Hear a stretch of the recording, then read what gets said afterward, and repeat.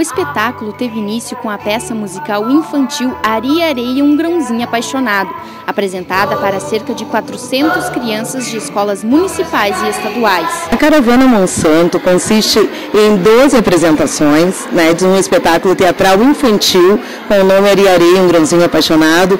Esse projeto é voltado para as crianças do ensino público ou municipal ou estadual. A Caravana Monsanto de Espetáculos pretende atingir um público aproximado de 11 15 mil pessoas, que têm acesso gratuito às apresentações e 24 oficinas de artes cênicas. O objetivo da Companhia da Cidade, juntamente com a Monsanto, é levar a cultura né, a, a, a, arte do teatro e a arte circense a essas crianças, às vezes, que não têm a oportunidade de, de todos os dias ter um, um projeto desses que é totalmente gratuito. Segundo essa atriz, espetáculos como esse são uma forma de desenvolver a cultura e mostrar como nosso país ainda possui muitos pontos positivos a serem explorados.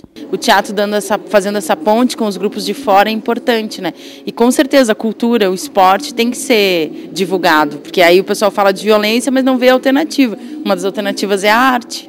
Ainda meio enrolado, mas com vontade de aprender, Alberto participou da oficina de malabarismo. É bem interessante estar tá trazendo essa oficina pra gente, porque nem sempre a gente tem a oportunidade de estar tá treinando. Os malabares, assim, a gente já treinou algumas vezes, sabe?